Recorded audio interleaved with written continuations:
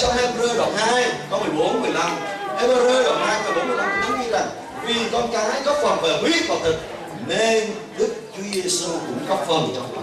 Đức Chúa Giêsu cũng góp phần trong đó. Chúa Giêsu ban một món quà chúng ta, hầu cho Ngài bởi sự chết của Chúa Giêsu mà Ngài hủy diệt kẻ cầm quyền sự chết là ma quỷ, lại giải phóng, lại cho chúng ta được tự do, không bị cầm buộc trong vòng tôi mọi chọn Hallelujah.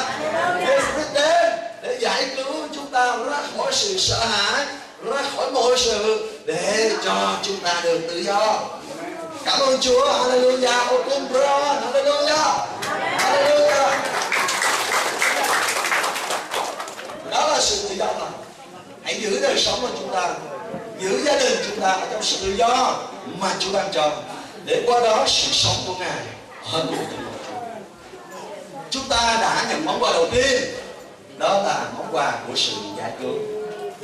Chúng ta đã nhận món quà thứ nhì. Đó là món quà của sự tự do. Và đây là món quà thứ ba mà Chúa ban chúng ta. Đó là chúng ta không những đã được giải cứu rồi, đã được tự do rồi và chúng ta, Chúa ao ước rằng đời sống chúng ta sống một cách thật ý nghĩa. Sống một cách ý nghĩa cho danh của Chúa. Đó là điều mà Chúa muốn ban tặng chúng ta một món quà trong ngày Giáng sinh. Sống ý nghĩa, đó là một trong những cái mục đích của cuộc đời của chúng ta. Sống ý nghĩa, đó là cách mà làm cho chúng ta được đến với Chúa ở trong ân điển của chính mình. Người ta thống kê ở trên thế giới, để một người kinh nghiệm một cuộc sống người ta phân tích, nó có ba, nó có ba cách sống. Tất cả mọi người trên thế giới này, họ sống như thế nào không cần biết, nhưng mà luôn luôn ở trên thế giới, nó có ba cách sống. Cách sống đầu tiên, đó là sống để tồn tại. Cách sống đầu tiên, đó là sống để tồn tại. Cách sống thứ nhì, đó là sống thành công.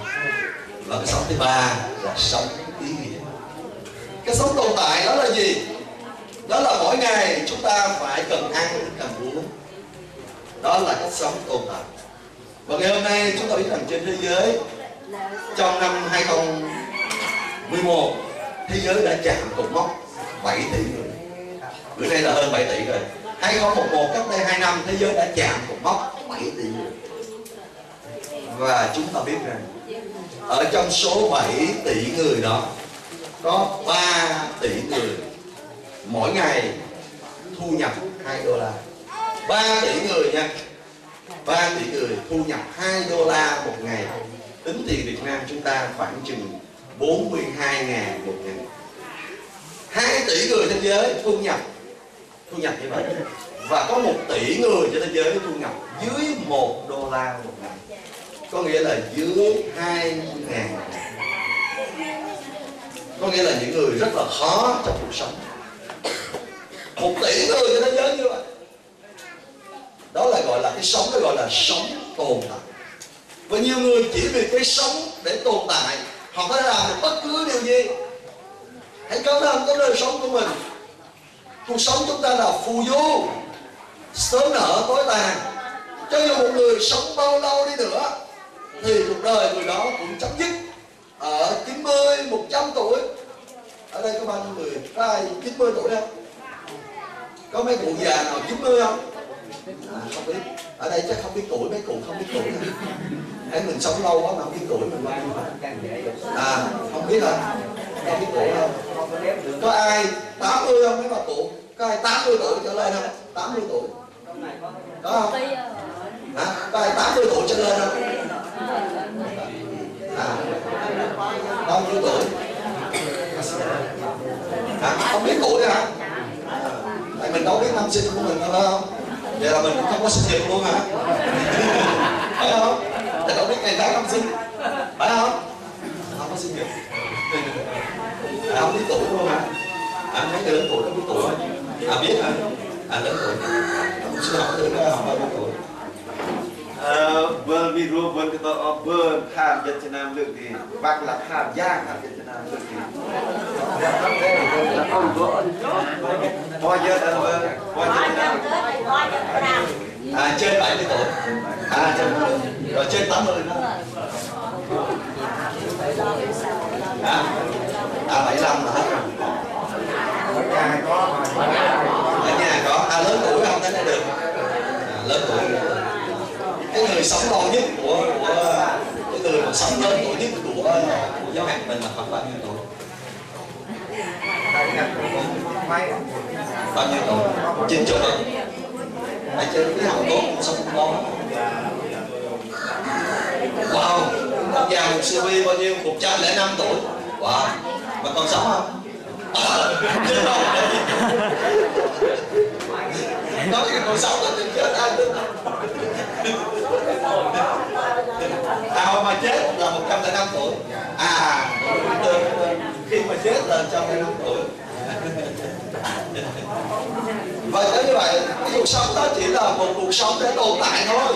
Để cho dù là một cái người sống rất là lâu như ông cụ năm sinh của một sư vi thì cũng 105 tuổi. Bố của tôi thì à, tuổi mà trên giấy tờ là đã là 103 tuổi. Tuổi thật của ông là khoảng 96 97 tuổi gì đó nó nhỏ hơn 5 tuổi. À, hiện giờ vẫn còn sống. Chứ không có không có nhiều kia Ở 92 tuổi. à ở khu đó còn người 92 tuổi. À hôm nay lớn tuổi không tới ok. Và những cái cuộc sống mà chúng ta nhìn thấy cho dù là một người sống Vẫn đi 92 tuổi à, vẫn đi bình thường khỏe mạnh. À cảm ơn Chúa à, rồi đó chỉ là một cuộc sống mà người ta gọi đó là cuộc sống để tồn tại để tồn tại. Và như vậy thì cho dù sống cao nhất khoảng trên dưới 100 thì cũng hết. Nhưng mà cuộc sống mà đời đời chúng ta mới là cuộc sống mà chúng ta lưu tâm. Đừng bỏ cái gì tạm thời nhưng mà hãy vươn đến những cái đời đời. Những cái tạm thời nó chỉ là đồ đáng bỏ mà thôi đó lý do mà Phaolô nói rằng tôi xem mọi sự vinh hiển mọi món lợi, mọi vinh hoa của tôi giống như ở rơm rác. Hầu sự nhận biết của Chúa là lớn hơn cái đời sống. Amen không? Nên hỡi những bạn thanh niên Ở những bạn thiếu niên. Hãy biết rằng cuộc sống chúng ta chỉ là tạm thôi. Đừng bao giờ buông bỏ Chúa và đi nắm lấy những cái điều mà dường như là không tưởng vì lời Chúa nói rằng, có một con đường dường như chánh đáng cho loài người, nhưng mà cuối cùng của nó là não của sự chết. Và hãy cẩn thận, hãy cẩn thận điều đó ngay trên đời sống. Của mình và chúng ta cũng nhìn thấy một cái điều thứ hai, đó là làm sao ý nghĩa thứ hai đó là sống thành công. Một số người cho rằng mình thành công, nhưng mà thành công của thế giới này, một lúc nào đó, nó cũng chấm hết à, cách đây vừa một tuần thì nhà nước xử lý cái vụ Vinashin.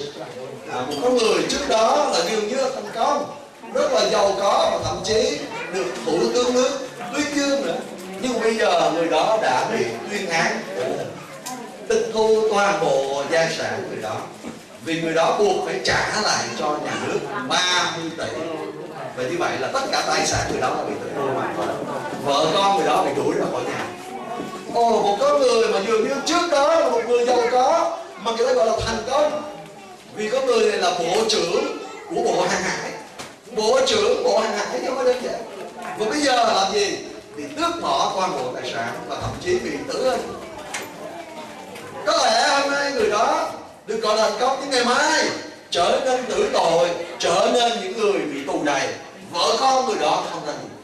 Nên đừng bao giờ nhìn những cái cách người ta sống bên ngoài đừng mơ tưởng mấy con đừng nghĩ, ô, cái người này sắp nhà họ giàu có đâu ồ, họ giàu đó, nhưng mà họ sẽ mất. Nó không còn, nó không còn tồn tại bao lâu. Có thể cuộc sống thành công con người nó thấy như vậy, nhưng sớm nở, tối tàn, không còn nữa. Chỗ nó không còn nhìn biết nó nữa. Và cuộc sống mà Chúa ao ước có thì cuộc sống chúng ta đó là sống ý nghĩa. Sống có ý nghĩa. Hãy nói với người cạnh rằng bạn ơi hãy sống ý nghĩa.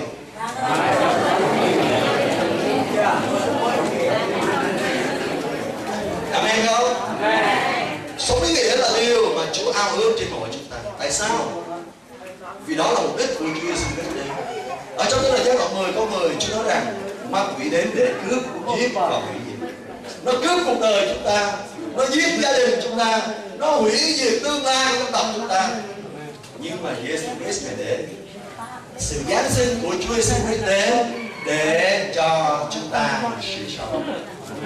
Sống ý nghĩa sống sung mãn sống như Amen không? Amen. Amen không? Đó là lý do mà Ngài đến.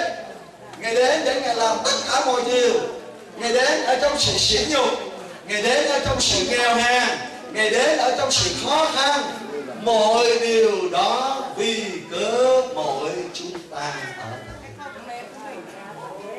Đang khi chúng ta Rosabai from đô la. Nhưng mà mùa Giáng sinh đầu tiên, Chẳng có Rosabai đâu. Chúa Giêsu ngài ở trong chuồng chiên máng cỏ mà. Phải không? Nhìn có vẻ đen tối lắm, nhìn có vẻ dơ giấy. Nhưng mà Giêsu Christ ngài đã đến để đem niềm vui, để đem niềm vui trọn vẹn cho những người trong sự sầu khổ.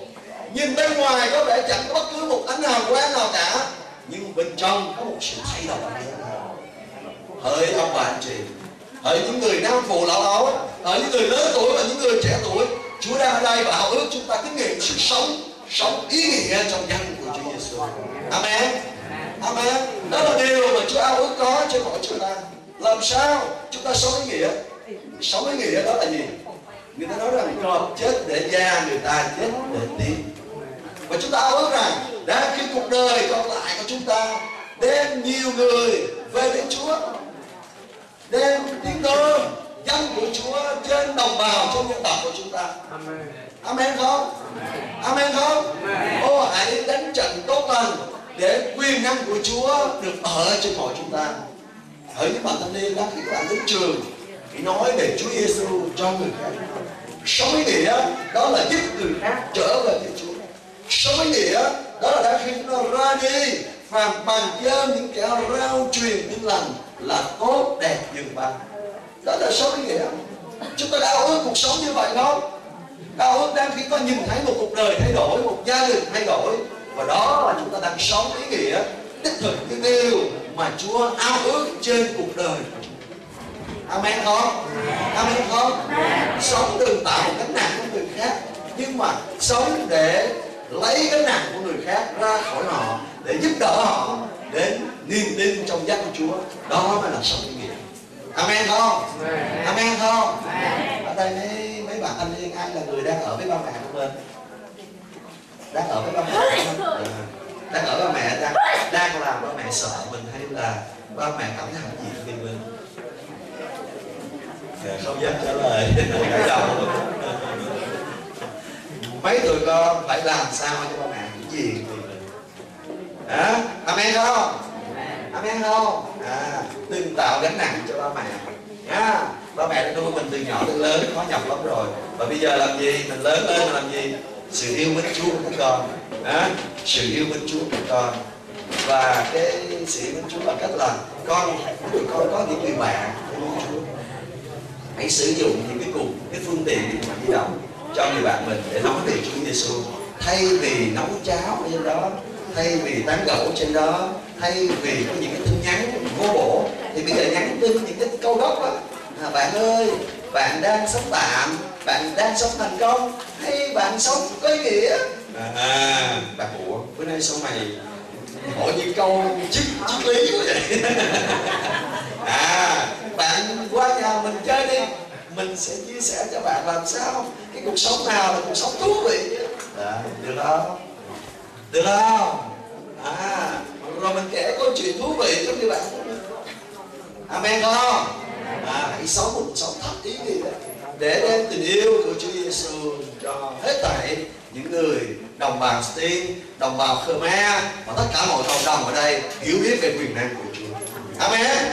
Ba món quà mà chúng ta phải nhận ở trong mùa Giáng sinh này. Món quà thứ nhất đó là giải cứu. À, món quà để chúng ta kinh nghiệm được sự giải cứu. Món quà thứ hai đó là được tự do.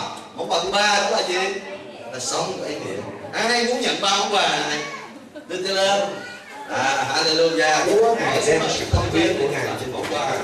Ngài đang ở đây và ước được đụng chạm chúng ta bằng quyền năng của Ngài. Ngài đang ở đây và ước chúng ta kinh nghiệm được sự cứu trong danh của Chúa Giêsu. Amen. Hãy cầu nguyện lại cho tôi và bằng đức tin. Đi đây lời cầu nguyện của quý vị. Vì lời Chúa nói rằng tin bởi trong lòng, nghe tin ở trong lòng thì chỉ được sự công bình. Nhưng mà đáp cái miệng chúng ta nói ra chúng ta sẽ được giải cứu. Chúng ta sẽ được tự do. Chúng ta sẽ kinh nghiệm sự sống mạnh mẽ ở trong danh của Chúa. Lạy Chúa Giêsu là Chúa. Là chủ cuộc đời của con Rostavai, Prom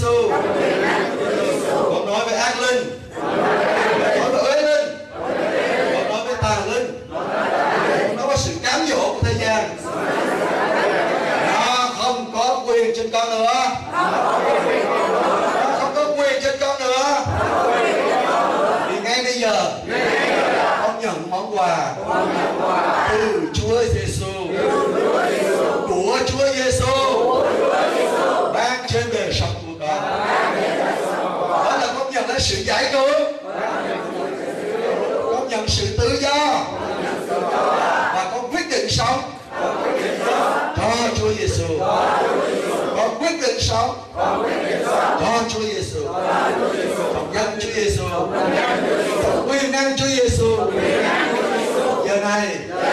Con nói với mọi quá khứ. Con nói với mọi tiêu cực. Con nói với sự buông bã. Con nói với sự tuyệt vọng. Đó, không có quyền trên con nữa. Thì bây giờ con đã được giải cứu. con được tự do. Con đã kinh nghiệm được sự sống. Sự sống. Của Chúa Giêsu trên đời sống của con Chúa Giêsu ơi. Xin đây dạy trên con. Chúa Giêsu ơi. Xin ban quyền năng. Đức Thánh Linh của Ngài đây dạy đây dạy đây dạy trên con ngay bây giờ ngay bây giờ trong quyền năng Thánh Linh con đưa tay lên mở rộng lòng con ra để nhận lãnh sự đụng chạm của Đức Thánh Linh trên cuộc đời của con cảm ơn Chúa Giêsu cảm ơn dòng huyết của Chúa Giêsu cảm ơn quyền năng của Đức Thánh Linh. Xin đây dạy trên con đây dạy trên con ngay bây giờ. Ngay bây giờ. Cảm ơn Chúa Giêsu cảm ơn Chúa Giêsu xin đây quyền năng của Ngài trên con để con sống.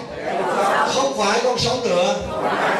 Nhưng mà Đấng Christ, Chúa Giêsu sống trong con sống trong con sống trong con cảm ơn Chúa Giêsu một lần nữa, con dân đời sống con và Chúa Giêsu nữa chứ và con nguyện trong danh Chúa Giêsu Christ. Amen.